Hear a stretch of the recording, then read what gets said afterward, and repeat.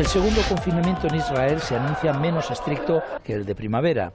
Ayer cerraron las escuelas del país y también se limitó el número de fieles que oraban ante el muro de las lamentaciones, bajo claras medidas de distanciamiento social y el uso de la mascarilla, no siempre respetado por los judíos ortodoxos, aunque la mayoría, como este hombre, asegura guardar la distancia social.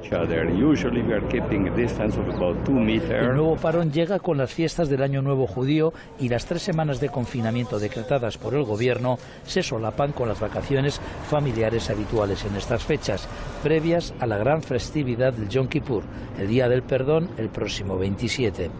Los israelíes no podrán ir más allá de 500 metros de su casa, con la excepción de desplazarse a trabajar. Con casi 5.000 nuevos casos diarios de COVID, el gobierno de Netanyahu ha decretado el nuevo cierre y se enfrenta a las críticas de ciudadanos que aseguran que el daño a la economía es irreparable.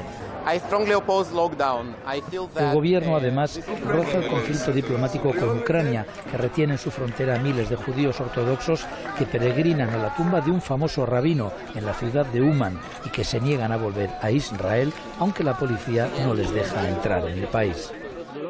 Accede a todo el contenido multimedia las 24 horas del día, 7 días a la semana, los 365 días del año. Síguenos en nuestras redes sociales y suscríbete a nuestro canal de YouTube.